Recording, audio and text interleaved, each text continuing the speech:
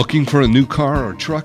TheAutoChannel.com has the most complete and up to date pricing, vehicle specifications, and reviews.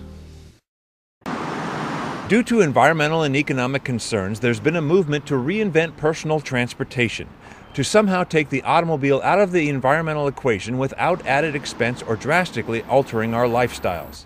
So later this year, we will see the newest generation of electric vehicles out on the road. The Volt is still an automobile, still has four doors, is expected to do everything a normal automobile can do without compromise. And as such, still had the look and feel like an automobile and function like people expect an automobile to function, but do it in a completely different manner.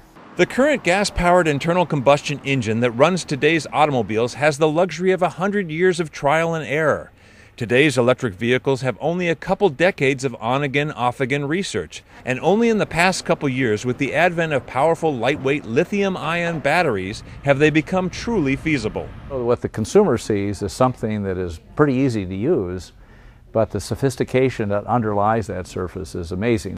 You can go literally through thousands of iterations in math to optimize a design where in the old days we had to make something in the shop, we would bring it out and test it. Literally, you can do hundreds much less expensively, much faster, to get to a, a far better state of design much more quickly than with the old methods. Batteries have been running non-stop at General Motors' state-of-the-art battery lab to simulate a 10-year lifespan. And the brains of the Volt, the computers and other electronics, are being tested here at the High Performance Compute Center. Behind me in this room are 10,000 processors some of which are water cooled because of the heat they generate, which solve millions of equations, millions of times a second, to simulate new vehicle development like the battery or electric motors or the software controls that are in the Volt. This is what it takes to develop the new propulsion strategy in just a few years rather than in several decades. So, will the Volt and its electric powered brethren reinvent transportation? The Volt is on schedule to hit dealer showrooms later this year.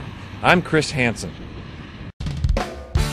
Thanks for watching the Auto Channel. For more great automotive information and entertainment, visit theautochannel.com, the internet's most complete and comprehensive automotive information resource.